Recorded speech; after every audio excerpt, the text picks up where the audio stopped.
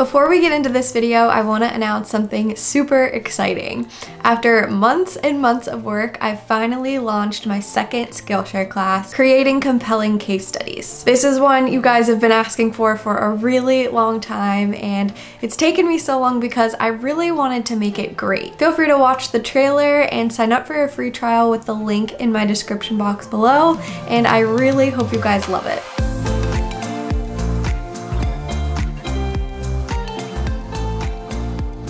Hey friends, welcome back to my channel. I'm Maddy if you're new. I'm a product designer currently working in food tech and here on YouTube I make videos about design, productivity, and life as a designer. Today, I wanna help you figure out what to include in your UX case studies. So we're gonna talk about my top must-haves and nice-to-haves. But first, let's take a step back and talk about what a case study even is in the realm of design, because it's a fairly new term in the industry. A case study is an in-depth, detailed examination of a particular case or cases within real-world context. And in design, when we say case, we specifically mean project or problem. Case studies are different from other portfolio projects because they go deeper. They take the reader through observations and learnings as opposed to just final deliverables and visuals. There's nothing wrong with just showing imagery, especially for a more visual type of designer and project. But many UX product and marketing portfolios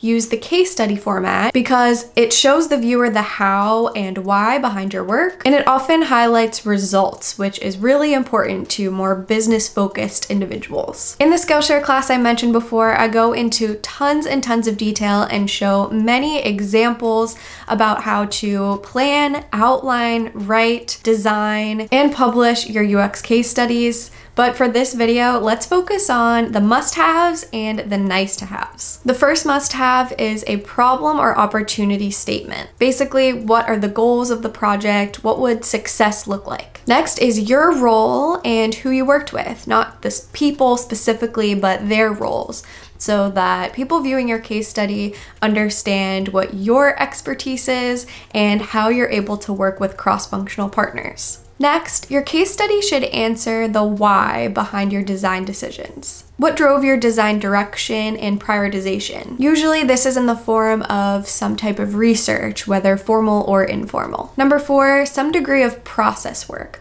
What are the actual things you did and why? Make sure you don't just define different UX exercises like empathy mapping and card sorting. People looking at your portfolio don't care about the definitions of these things. They care about why you chose to spend your time and resources on those specific exercises and what you learned from them. Number five, of course, visuals of your final deliverables. People looking at your portfolio want to know that you've actually got those design skills and that what comes out at the end looks really good and polished and reflects everything that you learned along the way. And lastly, include some type of results or success metrics. What difference did this project make? Prove that your work was worth all of the time and resources that went into it. Now let's move into the nice to haves. These are things that would definitely make your case study more compelling if they actually fit into the narrative of how your project went. Feel free to leave any of these out if they're not relevant or if they would not actually add anything to the story of your project. Number one, more details about any research you did. A summary of your findings, actual data, quotes from research participants. Number two, a visual system or brand guidelines. Maybe you did some design system work that is relevant to the story, but if not, feel free to leave this out. Number three, more process artifacts such as empathy maps,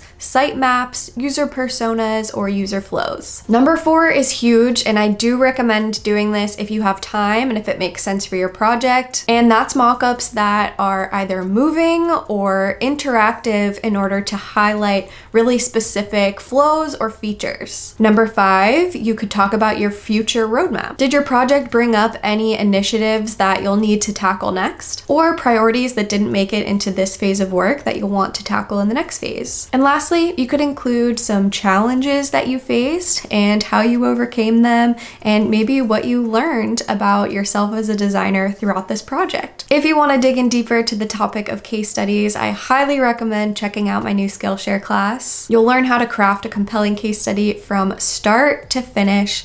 You'll see tons and tons of resources, examples, personal anecdotes, and tips from myself, common mistakes that people make with their case studies, and in the discussion section, you'll be able to actually add your work in progress and ask me questions. I'm on Skillshare almost every single day, answering questions and looking at projects, so I really hope to see you in there. Thank you so much for watching, and I'll see you guys in the next video. Bye!